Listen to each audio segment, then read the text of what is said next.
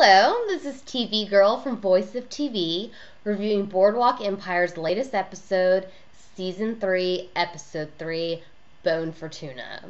You're probably thinking before you saw it, what the hell does that imply? That's what I was thinking too. Well, now that we know it's pretty funny, kind of sums up the whole episode in a way too. Anyway, first of all, I loved this episode. It felt so genuine, so real to me, and I could empathize with all the characters, and it felt so much less empty than last episode. Probably partially because Richard and Gillian and Van Alden were back. And Terence Winters, if you kill off Richard Harrow, I don't know if I could ever forgive you.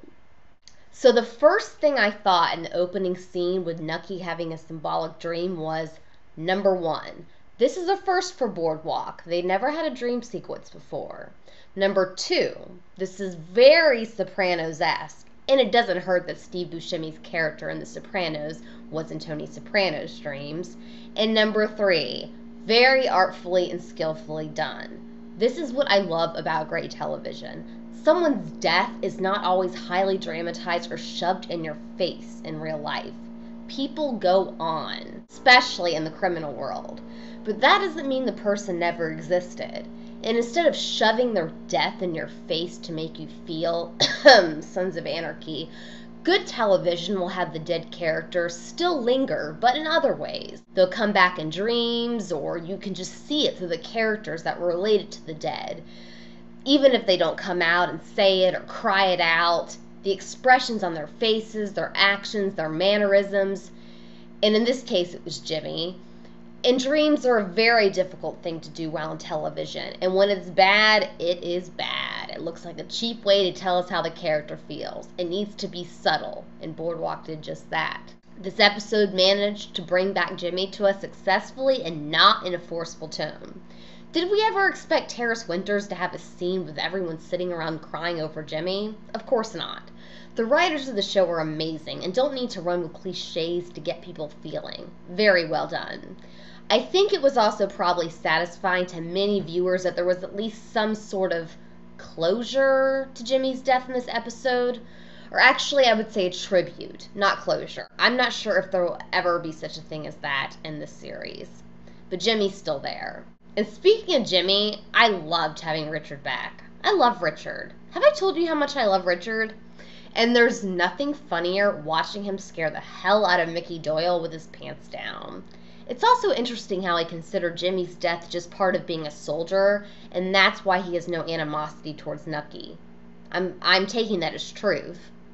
Yet he killed Manny because of what he did to Angela. Wow, I got a serious chill down my spine when Nucky found out how many men Richard killed. And when Nucky asked him if he ever thought about any of them, Richard just said something like, I think you already know the answer yourself, and, and walked out. That really got to me. And since this is really the first episode we have ever seen Nucky struggle with some sort of guilt, it fit really well. Nucky seeing the little boy with the blood on his face at the altar, the memories back to season one. But bluntly, Nucky can't handle what he did. His psyche can't. I also like how Nucky is taking his anxiety and using Billy Kent to try to find solace so he feels less lonely. But she doesn't have what he wants. She's a young, free girl. And Nucky doesn't even love her. It's just his way of coping at the moment. But Steve Buscemi is really an incredible actor and knocked this episode out of the park. And Jack Huston, of course, Richard, but I love him. Ah, uh, Gyp Rosetti, what a charmer. Wow. Bobby Cannavale is another fabulous actor. The most recent thing I saw him in before this was Nurse Jackie. He was in the last season of it. And uh, this is a very different role for him, much better one. And he's scary and complex. Scary, unpredictable, and he's like a big baby. You never know what's going to set him off. And Nucky has to treat him like a little kid. And even when he hands him a bone with the shipment, no pun intended, Gyp is just so irked by this bone fortuna note which is obviously supposed to mean Buona Fortuna, in Italian, good luck, but he feels like Nucky is mocking him, and he can't let it go. And then when the sheriff of Tabor Heights says good luck, even though the sheriff has no clue that the saying is what's troubling Gyp at the moment, it causes him to be lit on fire alive. by Gyp.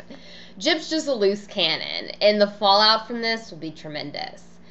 We thought it would be this episode, the fallout, but I think things are going to change for real this time. He's not going to get away with that. But Gyp is becoming one of my favorite characters very quickly. I hope he stays stays around for a while. Very interesting. As far as Margaret's storyline, it's so separate from everyone else's at the moment. So we get a real chance to decide now if she can stand on her own as a character. I like the character Margaret, but I don't like Margaret if that makes sense. Well, it does. I find her realistic and well developed, but I don't like her. And I don't think we're supposed to. But Margaret is very determined. She is manipulative, as clearly shown this episode. She finally got her way with the women's clinic. It's interesting to see this part of history, although alone at the moment, Margaret is one of the least interesting storylines. I do look forward to seeing her move past this and see how she deals with her other issues, which she has plenty of. Van Alden or George. Van Alden, you need like six shots of bourbon and a few Xanax. Whoa, no, wait, that would kill you. But you need to chill, obviously. You don't need to hear that from me. But just when he's getting ready to maybe let loose a little bit, I mean, hey, his co-workers got him go to a speakeasy. Van Alden out drinking, and then they get busted. What a buzzkill.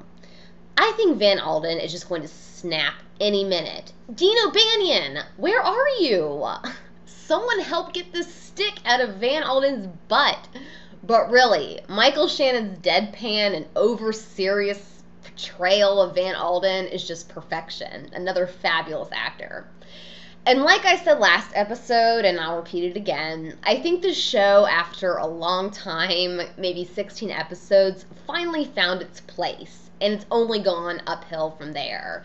Storylines are interweaving beautifully, the symbolism is haunting, meaningful, and skillful, and the acting is just nothing short of superb. I haven't seen one bad actor on this show yet. So, for some predictions and thoughts. We were missing some characters this week, but there's just so many, you can't see them all in one episode. Or they would have to start killing people off. No Chalky, very little Eli, if you even want to count that. Al Capone wasn't there, Rothstein, and I'm sure I'm missing others, but the preview for next week, although a little vague, shows Rothstein and a big emphasis on Al Capone. I really thought Gyp and Gillian were going to hook up. Is it just me, or would they be kind of a cool couple? Maybe I'm just weird. I think they'd look good together, that's for sure. Plus, they both have some animosity towards Nucky Thompson. Okay, a lot of animosity. Is it the last we'll see of these two together? They could be a real power couple. Also, it was interesting how Gillian mentioned Eli trying to kill Nucky to Gyp. Do you think Gyp will do anything with this bit of information? But more importantly, what will be the fallout from his insane act at Tabor Heights? I'm still really excited over this episode. I've rewatched it twice already, and it definitely gets an A from me. To me, this show is officially in my head in the ranks of shows like The Sopranos and The Wire. Nothing will beat my baby, The Sopranos, but I am very grateful for the show now, and patience has really paid off. Well, I'd also really like to hear your opinions, so please feel free to leave comments, opinions, predictions, and also check out my other Voice of TV reviews on Sons of Anarchy, Revolution, Homeland, Dexter, and more. Until next week, TV Girl from Voice of TV out.